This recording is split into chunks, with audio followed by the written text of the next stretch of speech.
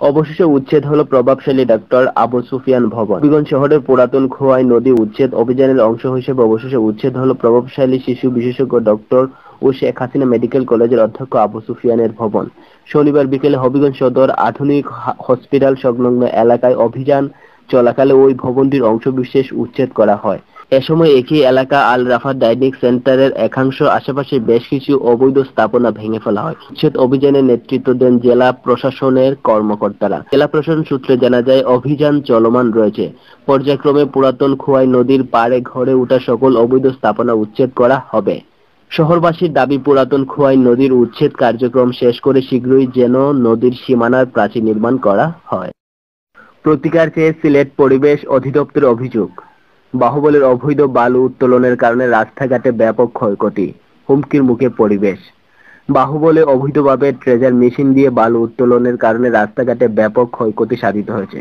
পরিবেশ হুমকির মুখে পড়েছে। এ বিষয়ে প্রতিকার চেয়ে গত নয় অক্টোবর পুঠিজুর ইউনিয়নের বর্তমান ইউপি মেম্বার রুবেল আহমেদ বাদী হয়ে সিলেট পরিবেশ অধিদপ্তরে একটি অভিযোগ দায়ের করেছেন। মাধবপুরে মাজারে যাওয়ার পথে গৃহবধূকে তুলে নিয়ে ধর্ষণ।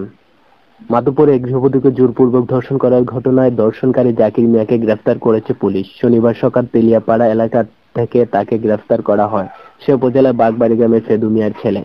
ধর্ষণের পর দর্শক ও তার সহযোগীরা ভয়ে তেলিয়াপাড়া এলাকা ছেড়ে চট্টগ্রামে পালিয়ে যায়। অপরদিকে দর্শনের শিকার হওয়া গৃহবধূকে ডাক্তারি পরীক্ষার জন্য হবিগঞ্জ সদর আধুনিক হসপিটালে প্রেরণ করা হয়। ঘটনার নয় দিন পর দর্শিতা মাধবপুর থানায় তিনজনের নাম উল্লেখ করে একটি মামলা দায়ের করলে পুলিশ এক দর্শককে গ্রেফতার করে। মাধবপুরে ইনডেভার ম্যানেজার চার দিন যাবৎ নিখোঁজ।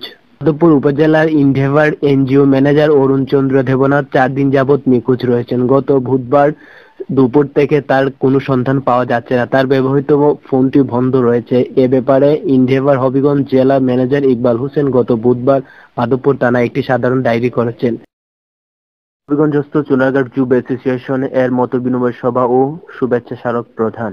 উনিশে অক্টোবর শনিবার সন্ধ্যা ছয় ঘটিকা স্থানীয় সুরবিতান ললিতা কলা একাডেমিতে চুনারঘাট ঘাটে উৎসব নিয়ে মত বিনিময় সভা করে হবিগঞ্জ চুনারঘাট যুব অ্যাসোসিয়েশন।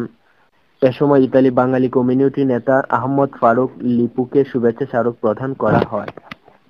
সংগঠনের সাধারণ সম্পাদক মোহাম্মদ আখতারুজ্জামান তরফদার জামানের সঞ্চালনা সংগঠনের সভাপতি কবি ও গল্পকার মনসুর আহমেদ এ সভাপতিত্বে সভায় বক্তব্য রাখেন বৃন্দাবন সরকারি কলেজের সাবেক অধ্যাপক মোহাম্মদ আবদুল্লাহ, অধ্যাপক মোহাম্মদ একরামুল ওয়াদুদ, হবিগঞ্জ সরকারি মহিলা কলেজের সাবেক অধ্যক্ষ শফিউল আলম চৌধুরী সহ বিভিন্ন সংগঠনের নেতৃবৃন্দ এ সময় উপস্থিত ছিলেন। এ ধরনের হবিগঞ্জের আপডেট খবর পেতে অবশ্যই আমাদের চ্যানেলটিকে সাবস্ক্রাইব করবেন এবং সবার আগে খবরটা পাওয়ার জন্য পাশে থাকা বেল আইকনটি চেপে দেবেন।